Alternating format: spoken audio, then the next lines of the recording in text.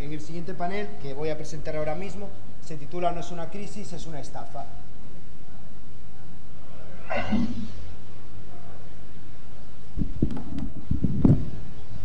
Ahora mejor, ahora mejor. El siguiente panel se titula No es una crisis, es una estafa. Se titula así, es el grito de guerra con el que salimos hace cuatro años los ciudadanos. Hace cuatro años nos estaban vendiendo los medios de comunicación, los partidos políticos, los líderes, los intelectuales de izquierda. Nos estaban vendiendo que esto era, habíamos vivido por encima de nuestras posibilidades y esto era una especie de maldición bíblica, la crisis que había llegado por haber pecado y por haber vivido por encima de nuestras posibilidades. Nosotros salimos, los ciudadanos salimos a la calle y dijimos que negábamos la mayor, que es que no es que la crisis fuera eh, culpa nuestra, es que no era una crisis, era una estafa directamente. Cuatro años después hemos destruido completamente el discurso hegemónico y el discurso hegemónico ahora que repiten los partidos, los intelectuales de izquierda, que repiten los líderes mediáticos, y que repiten los medios sin parar es precisamente este, que no es una crisis, que es una estafa. Ahora,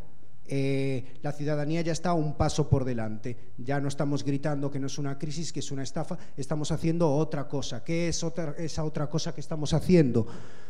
Pues oye, una cosa es tener la certitud de algo y otra cosa es poder demostrarlo. Una cosa es poder estar seguro de algo y otra cosa es poder demostrarlo.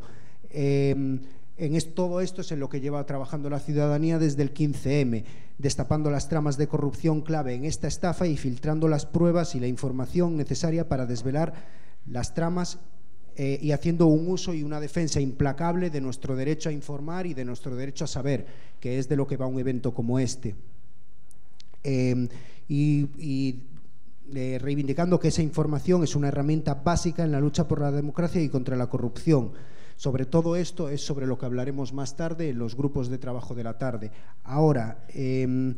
una cosa es repetir el mantra, por ejemplo, de que el dinero es deuda, que es algo que todos más o menos ya sabemos, y tener la certeza de que la máquina del dinero está en manos y en intereses privados, no está en intereses democráticos. Y otra cosa es conseguir demostrar el fraude en los modernos mecanismos de creación monetaria mediante un ejemplo concreto de desobediencia civil que todo el mundo puede replicar y experimentar a gran escala con sistemas monetarios más justos, más democráticos y más sostenibles, que es el caso de Enric Durán, que va a hablar a continuación, que es el fundador de la Cooperativa Integral Catalana o de FERCOP.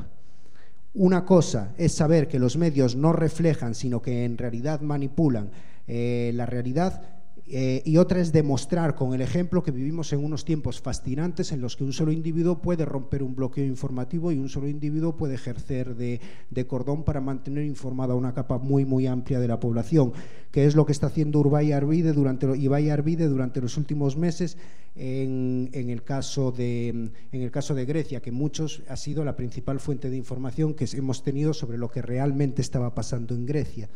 Y una cosa es tener la certeza, como la tenemos muchos, de que las estafas bancarias, las estafas con productos bancarios han tenido un coste para la salud de la gente, porque los que estamos más o menos en esto no paramos de oír historias muy duras y muy dramáticas sobre gente, sobre todo de una determinada edad, que ha pagado un coste en salud muy, muy alto por las estafas bancarias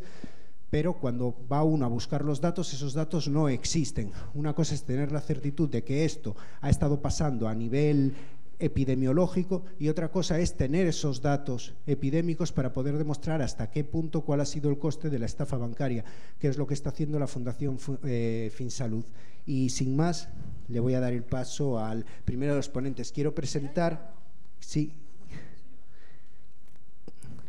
que en la fila cero hay eh, parte de los miembros del Grupo Anticorrupción que se acaba de presentar, pero que llegarán en breves y se irán colocando y los presentaré en cuanto hayan vuelto de la rueda de prensa.